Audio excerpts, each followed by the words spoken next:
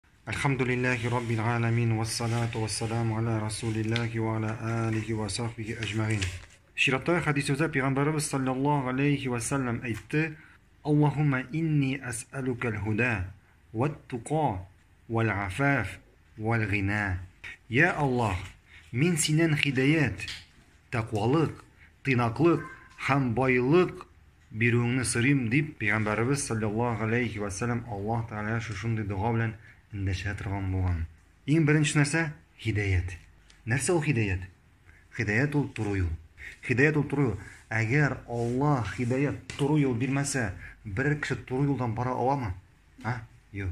Хәтта берәр кеше туры юлда булып, әгәр Аллаһ, әгәр Аллаһ аны шушы юлда ныгытмаса, ул шушы юлда калып, шушы юлдан дәвам итә аламы? Юк. Икенчесе нәрсә? Тәкъвалык. Тәкъвалык. Нәрсә ул тәкъвалык? Тәкъвалык ул богобоязненность, ягъни Аллаһтан курку. Тәкъвалык ул кайчан син Аллаһтан иңгән нурга таянып, Аллаһ кушкан әмерләрне үтисең, Аллаһның әҗеренә өмет итеп. Һәм кайчан син Аллаһ тыйган нәрсәләрне калдырасың, ягъни гөнаһларны калдырасың, Аллаһның нурына таянып һәм Аллаһның газабыннан куркып. Аллаһның нуры нәрсә ул? Гыйлем, ягъни Коръән һәм Сөннәт. Коръән һәм сөннәт.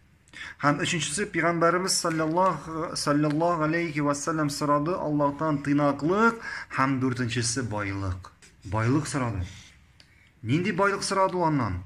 Мал мөлкәтме? Алтын, көмеш? А? Юк. Булган нәрсә белән канагат булуны сорады.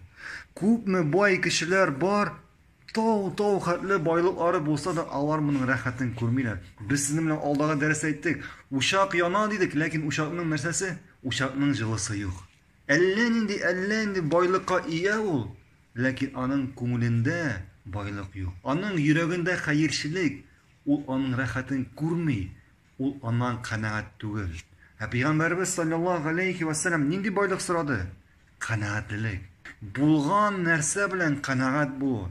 Һәм әгәр кеше булган, бүгенге көндә булган нәрсәсеннән канәгать булса, аннан бай кеше булмаячак. Әгәр аның йөрәгендә канәгатьлелек булса, аннан бай, аннан бәхетле кеше булмаячак.